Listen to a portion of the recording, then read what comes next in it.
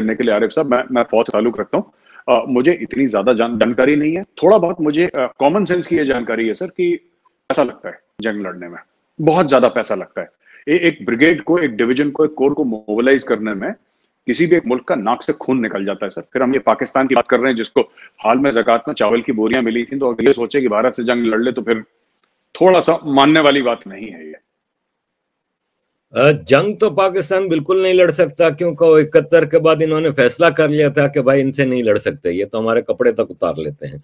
तो जंग तो नहीं लड़ सकता, पाकिस्तान की तो मजबूरी है, पाकिस्तान तो इस वक्त जो इकोनॉमिक बैकग्राउंड चल रहा है, पाकिस्तान का उसमें कुछ बाय करना चाह रहा है इंडिया के साथ पीस को। और इंडियन डेलीगेशन भी अभी दुबई गया था और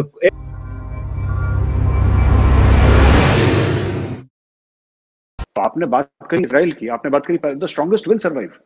ये जो बाकी पाकिस्तान कह रहा है, पाकिस्तान का कमेंट आया कि इसराइल के ऊपर कार्रवाई होनी चाहिए। पाकिस्तान कभी ये नहीं कहेगा कि हम इसराइल के ऊपर कार्रवाई करेंगे। और आज जो पाकिस्तान फिलिस्तीनियों के लिए रो रहा है, उसका खुद जियाउल हक ने पच्चीस हज़ार तो मार दिए थे। ब्लैक सितंबर अगर आप देखें, वो भी लेट सेवेंटीज की बात है। Black September seventy nine seventy eight की बात है। If I am not mistaken brigadier हुआ करता था जियाउल हक का। उसने जॉर्डन के, जो किंग था, उसके कहने पे उसने तो पूरे पच्चीस हज़ार पैलेस्टीनियंस को निपटा दिया। वो पाकिस्तान जिसने पच्चीस हज़ार पैलेस्टीनियंस का गला काटा, आज वो बड़ा कह रहा है साहब कि हमें बड़ा दिल आजारी हो गई साहब वो पैलेस्टीनियंस के खिलाफ इसराइलियन एक्शन ये तो ऐसी हैं लोग। ठीक है, ऊपर से ईरान कह रहा है उसके ऊपर। ईरान जो वैसे अंदर से मरा हुआ है।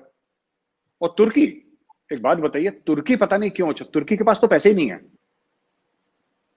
तुर्की के पास पैसे नहीं है, बस तुर्की ये है कि यूरोप में उसका हिस्सा आता है तो इसलिए तुर्की थोड़ा बहुत ठीक ठाक बचा हुआ है।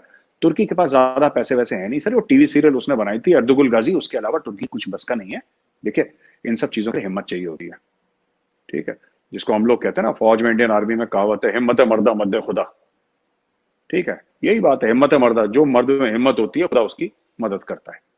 तो वही चीज़ sir Israel will win this war of attrition and India should support Israel yes मैं फिर कहता हूँ कोलेट्रल डैमेज ये ठीक बात नहीं है सर अगर कोई पैलेस्टीनियन बच्चा मरे तो ये ये गलत चीज़ है sir I I can never condone that but yes we must also say कि अगर कोई भगवान ना करे, अगर कोई इसराइली बच्चा मरे तो इवन दैट इज़ रॉन्ग वो भी गलत है। लोग क्या करते हैं इंडिया में ह्यूमन राइट्स वाले, जो अपने ह्यूमन राइट्स की दुकान लेके चलते हैं ना? इसराइल इसराइल इसराइल ये रॉकेट मारे किसने थे? जो सत्रह अठारह सौ रॉकेट मारे थे इसराइल के ऊपर किसने मारे थे? कह रहे बेचारे फिलिस्तीनी बड़े परेशान हैं। एक जेल बना रखा है। जेल के अंदर 1800 rocket sir. Long range rockets हैं आपके। एक मुल्क से दूसरे मुल्क पे आप रॉकेट फायर कर रहे हैं और ये अपने आप को बेचारा बोलते हैं। ये विक्टिम कार्ड प्ले करते हैं हमारे वाले। और दूसरी तरफ़ देख लीजिए हिजबुल्ला वाले हैं। टोटली ईरान फंडेड ये तो सुननी है वो पूरा शिया मलेशिया है। फिर? ये, ये हुआ कैसे सर? ये हुआ कैसे? तो इन्होंने क्या करा मैं आपको बताता चलूँ कि इन लोगों ने, आपने इसराइल और पैलेस्टीन के बारे में पूछा ना तो हमास हमास वालों ने क्या करा? हिजबुल्ला भी यही करता है। ये जो रॉकेट हैं, इन लोगों ने रखे अपने हाईली पॉपुलेटेड एरियाज़ में, जो खचाखच भरे हुए हैं। ठीक है? इन्होंने अपने पॉपुलेटेड एरियाज़ में रॉकेट रखे बिल्डिंगों के बीच में, और वहाँ से इन्होंने रॉकेट अपने इसराइल के ऊपर फायर करे। कुछ तो इसराइल ने रोक दिया आयरन डोम से, कुछ गिर गए। अब इसराइल ने जब जवाबी कार्रवाई करी, और यहाँ पे रॉकेट गिरा तो ज़ाहिर सी बात है, क्योंकि सिविलियन एरिया है तो किन्हीं किन्हीं को चोट लगेगी फिर, लोग मरेंगे। फिर इन्होंने विक्टिम कार्ड प्ले करा कि साहब गरीबों को मार दिया, साहब, ये है, वो है। तो ये और यहाँ पे इंडिया में जो कुछ खास कोर्ट अनकोर्ट लिबरल्स हैं हु आर लीस्ट लिबरल वो यही बकवास करते हैं, चौबीस घंटे यही माल बेचते हैं। ये गलत कर दिया, वो गलत कर दिया। अरे, तुम छेड़ोगे नहीं इनको। तो वो भी कुछ नहीं करेंगे, वो भी चुपचाप बैठे तुम भी चुपचाप बैठे कि Bharat Pakistan negotiations Arab sponsored है। क्या वजह है? भारत को भरोसा तो है नहीं पाकिस्तान पे ना करना चाहिए भरोसा तो। 90 परसेंट जो ये बातचीतें हैं कि भारत पाकिस्तान के बीच मुजाकरात हो रहे हैं चुपके से वो कोई कह रहा है आईएसआई का चीफ गया था कोई कह रहा है हमारे एन एस साहब गए थे कोई कह रहा है रॉकेट। ये 99 परसेंट जो बातचीतें चल रही हैं आरिफ साहब ये पाकिस्तानी मीडिया में चल रही है इंडियन मीडिया में इतनी नहीं आई राइट? क्योंकि आ, पाकिस्तानी मीडिया में इनको आ, पाकिस्तानी फौज ने आईएसपीआर ने इनको चलाया है एक माहौल बनाने के लिए। आप देखिएगा इंडियन मीडिया में वन परसेंट भी नहीं है जो पाकिस्तानी मीडिया में रोज चलता है। क्योंकि हमारे अपने मसले हमारे लिए पीस विद पाकिस्तान इतना इंपॉर्टेंट नहीं, हमारे लिए कोरोना इंपॉर्टेंट है तो हर जगह कोरोना का बात चल रही है। और इंडिया में इलेक्शन हुए थे फिर बंगाल के असम के और और दीगर स्टेट्स के तो हमारे लिए वो इलेक्शन ज़्यादा इंपॉर्टेंट है। Peace with Pakistan is not a priority in India पहली चीज़ तो ये दूसरी चीज़ ये है कि नेगोशिएटिंग टेबल पे तो कोई नहीं बैठा, क्योंकि पाकिस्तान में ये लुक्का छुपी का खेल हो सकता है। क्योंकि वहाँ पे आर्मी तो खुदा है पाकिस्तान में। तो अगर प्रिंस मोहम्मद बिन सलमान से भी मिलने जाएँगे तो कमर जावेद बाजवा साहब मिलने जाएँगे और उनकी पहले मीटिंग होगी इमरान खान की बाद में होगी। ये पाकिस्तान में आ, हो सकता है। इंडिया में ऐसा नहीं है कि मोदी जी जा रहे हैं और यहाँ पे चीफ ऑफ़ आर्मी स्टाफ ये सब नहीं होता हमारे यहाँ पे। तो यहाँ पे जो भी होगा अगर पाकिस्तान के साथ मुजाकर होंगे वो खुल के सामने आएँगे हमारे साथ। और ये बैक चैनल टॉक्स तो चलती रहती है। पाकिस्तान इंडिया तो छोड़िए, पाकिस्तान तो कब से? मुशर्रफ के टाइम से भी पहले पाकिस्तान तो इसराइल के साथ भी बात कर रहा है, जिसको डिप्लोमेटिकली रिकॉग्नाइज नहीं करता। तो ये इंटेलिजेंस एजेंसीज के बीच में डायरेक्टर मिलिट्री ऑपरेशंस के बीच में साहब, ये सब बातें कब से चलती चली आ रही है? तो बातें होती रहती हैं। पर क्या हम इसका कुछ ग्राउंड पे अमल देखेंगे? मुझे नहीं लगता अभी। ठीक है, इन्होंने वो कर दिया है, अपना जो लाइन ऑफ़ कंट्रोल है, वो शांत हो गया है अभी फ़िलहाल के लिए। और ठीक है दैट्स ओके मतलब देखिए लाइन ऑफ़ कंट्रोल जब शांत नहीं था जब वहाँ पे खून बह रहा था तब भी हमने नहीं बोला कि इसको शांति होनी चाहिए यहाँ पे। अब शांत हो गया हम कह रहे हैं ये भी ठीक है वो भी ठीक है। तो ऐसी कोई इंडिया को कोई भी प्रॉब्लम नहीं है we can sustain it forever Pakistan को दिक्कत हो रही है क्योंकि लाइन ऑफ़ कंट्रोल पर गोलाबारी सस्टेन करने के लिए साहब या अपनी फौज सस्टेन करने के लिए आरिफ साहब मैं मैं फौज ताल्लुक रखता हूँ। मुझे इतनी ज़्यादा जान, जानकारी नहीं है। थोड़ा बहुत मुझे कॉमन सेंस की ये जानकारी है सर कि पैसा लगता है जंग लड़ने में। बहुत ज़्यादा पैसा लगता है। एक ब्रिगेड को, एक डिवीज़न को, एक कोर को मोबिलाइज करने में किसी भी एक मुल्क का नाक से खून निकल जाता है सर फिर हम ये पाकिस्तान की बात कर रहे हैं, जिसको हाल में जक़ात में चावल की बोरियाँ मिली थी तो अगर ये सोचे कि भारत से जंग लड़ ले तो फिर थोड़ा सा मानने वाली बात नहीं है ये। जंग तो पाकिस्तान बिल्कुल नहीं लड़ सकता क्योंकि इकहत्तर के बाद इन्होंने फैसला कर लिया था कि भाई इनसे नहीं लड़ सकते, ये तो हमारे कपड़े तक उतार लेते हैं। तो जंग तो नहीं लड़ सकता, पाकिस्तान की तो मजबूरी है, पाकिस्तान तो इस वक्त जो इकोनॉमिक बैकग्राउंड चल रहा है, पाकिस्तान का उसमें कुछ बाय करना चाह रहा है, इंडिया के साथ पीस को। और इंडियन डेलीगेशन भी अभी दुबई गया था, और एक आवाज़ आ रही है कि अरब अरब वर्ल्ड भारत को एक फ्रेंडली प्रेशर या एडवाइस कर रहा है तो क्या ऐसा है कि कोई अरब और वेस्ट भारत को परसुएट कर रहा है कि पाकिस्तान के साथ आप बैठ जाएँ टे, टेबल पे?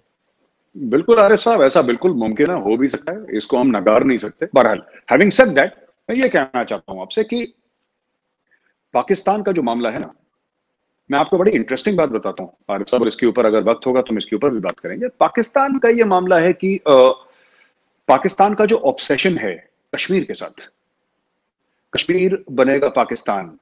कश्मीर से नाता क्या अल्लाह ये जो कॉन्सेप्ट है पाकिस्तान का, ये भारत के लिए बहुत बेनिफिशियल है सर ये हमारे लिए बहुत बेनिफिशियल है और ये बहुत एक सीनियर इंडियन आर्मी जर्नल ने और एक बहुत सीनियर रिटायर्ड डिप्लोमैट ने एक बार बात करी थी। We met over dinner two three years back और मुझे बड़ा चौंका देने वाला स्टेटमेंट लगा तो फिर उन्होंने बैठ के बताया ही सेट कि बेटा बैठो, मैं तुम्हें बताता हूँ। वो सीनियर लोग थे, उन्होंने बोला, बैठो, मैं बैठ गया। फिर उन्होंने बोला कि देखो, पाकिस्तान, अगर पाकिस्तान बाहर जाता किसी अरब मुल्क में, और ये कहता कि साहब, हमारे यहाँ बिजली की प्रॉब्लम है। कराची में आपका ताल्लुक कराची से कराची में अगर पानी की प्रॉब्लम है तो कराची तो समुद्र के बगल में है। कोई भी अरब देश पैसा देके पचास या सौ डिसैलिनेशन प्लांट्स लगा देता वहाँ पे। कोई मज़ा नहीं था वहाँ पे। बलूचिस्तान में पचास या सौ हज़ार डिसलिनेशन प्लांट्स अरबों के पास पैसे की कमी है, वो लगा देते। लेकिन पाकिस्तान जब भी गया, या तो खैरात मांगने गया, या फिर कश्मीर के बारे में बात करने गया। तो जितना पाकिस्तान कश्मीर कश्मीर करेगा, वो अपनी पीठ पे खुद खंजर भोंक रहा है। उसको, ये जो कहते हैं ना कि रॉ वालों ने साजिश कर दी और भारत वालों ने, इनको सर ना रॉ की ज़रूरत है, ना भारत की ज़रूरत है, ना भारतीय सेना की ज़रूरत है। इनको किसी ज़रूरत नहीं है। ये खुद के पैर काट रहे हैं। तो हम तो चाहते हैं कि पाकिस्तान कश्मीर कश्मीर करे। इन्होंने अपनी तीन नस्लें बर्बाद कर दी। राइट कश्मीर में ये हो गया कश्मीर इन्होंने कश्मीरियों को भी कुछ कश्मीरी सारे नहीं इन्होंने कुछ कश्मीरियों को भी गलत गलत उम्मीदें दी और पाँच अगस्त के बाद इन लोगों ने बोला कि सब ठीक है, हम इंडिया के साथ ट्रेड बंद कर रहे हैं। कर दो बंद। पंजाबी में कहते हैं ना साबू की कर दो। फिर तीन चार हफ़्ते के बाद एक छोटी सी रिक्वेस्ट आई कि वो जो दवाइयों का मामला था, वो तो सिलसिला जारी रहे। उन्होंने ये कर दो। फिर अभी हाल फ़िलहाल में उन्होंने बोला कि पूरी ट्रेड चलनी चाहिए, फिर 48 घंटे के बाद। बैक ट्रैक कर दिया इनकी मर्ज़ी है देखिए, हमें पाकिस्तानी मार्केट से कोई फ़र्क नहीं पड़ता। आज भी पाकिस्तान में धड़ल्ले से हिंदुस्तानी माल बिक रहा है। बस वो कतर से आता है, दुबई से आता है, घूम के आता है। आम पाकिस्तानी बेचारा गरीब, चार गुना कीमत देता है उसे हिंदुस्तानी माल की। तुम्हें डायरेक्ट लेना है। वो ले लो, क्योंकि वही ऐसा नहीं है कि पाकिस्तान नहीं खरीद रहा तो हमारी मंडियों में माल हमारा सड़ रहा है, ऐसी बात नहीं है। वो माल कोई ना कोई हमें बाय तो मिल ही जाएगा। क्वालिटी का माल है, सस्ते रेट पे कोई क्यों नहीं खरीदेगा इंडियन माल? तो ये सब चीज़ें हैं। ओवरऑल जो सिनेरियो है, जो चाइना का आपका सवाल था, वो बात सही है कि अगर हमारे ईस्ट वेस्टर्न बॉर्डर्स शांत हो जाएँ तो हम ईस्टर्न बॉर्डर्स पर ज़्यादा ध्यान दे पाएँगे। ये बात तो तय है, इसमें आरिफ साहब कोई शक नहीं है। और इंडिया का भी एक रिकैलिब्रेशन हुआ है, जो बीच में मीडिया में रिपोर्ट्स आई थी वनकोर जो है मथुरा वाली, उसको रिकैलिब्रेट करा गया instead of Pakistan you look at China तो ठीक है, एक माइंडसेट भी है कि पाकिस्तान को हैंडल करने में ज़्यादा बड़ी पाकिस्तान खुद सर जिसको कहते हैं ना, रीढ़ की हड्डी टूट गई पाकिस्तान की। हम क्यों दिमाग खर्च करें, उसके ऊपर क्यों अपना पैसा खर्च करें, क्यों अपनी फौजें, अपनी इकोनॉमी को पाकिस्तान पाकिस्तान करें? इट्स नॉट रिक्वायर्ड वो लोग खुद एक दूसरे को मार रहे हैं। ठीक है? अभी हज़रत मोहम्मद साहब का किसी ने खाका बनाया राइट जो कि नहीं बनाना चाहिए तो मैं खुद कह रहा हूँ। एज ए हिंदू मैं कह रहा हूँ, नहीं बनाना चाहिए। था किसी भी मज़हब के बारे में आपको करने का कोई हक नहीं। चलिए, किसी फ्रांसीसी ने खाका बनाया। ठीक है? भाइयों ने अपना मुल्क जला दिया।